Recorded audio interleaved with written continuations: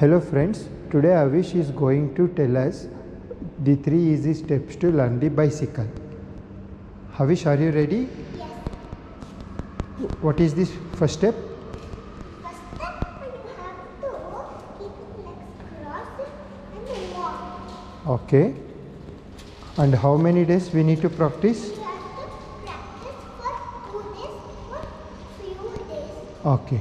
Then what is the second step, Havish?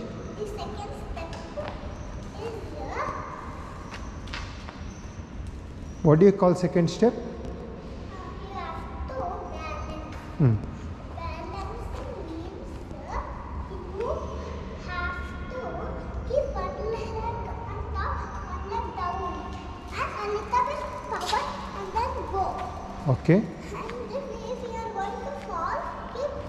legs down. Show us, show us little bit more.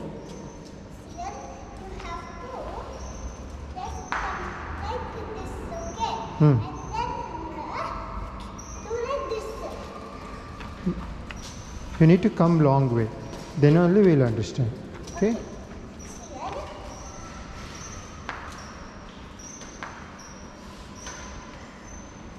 Like this. Okay. How many days we need to practice like this?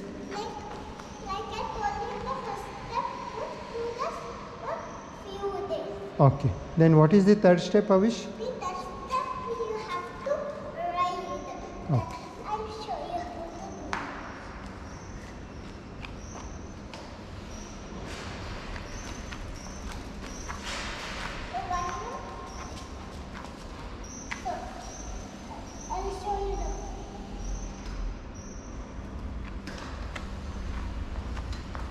Good. Havish, you now Wow.